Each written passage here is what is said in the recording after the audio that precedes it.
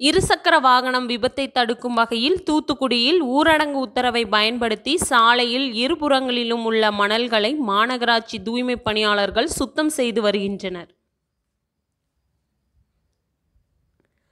தூத்துக்குடியில் சாலையில் இருபுறங்களிலும் மணல் தேங்கியுள்ளதால் இருசக்கர வாகனத்தில் செல்வோர் மிகவும் சிரமப்பட்டு வருகின்றனர். மேலும் மணல் சரிந்து விபத்து ஏற்படும் சூழல் ஏற்பட்டு வருகிறது.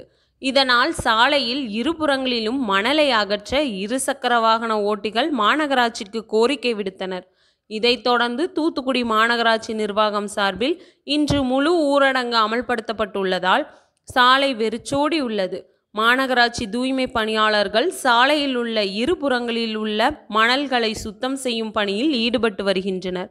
தூத்துக்குடி பாளையங்கோட்டை செல்லும் பிரதான சாலையில் இருபுறமும் உள்ள மணல் குவியல்களை மாநகராட்சி தூய்மை பணியாளர்கள் சுத்தம் செய்து வருகின்றனர்.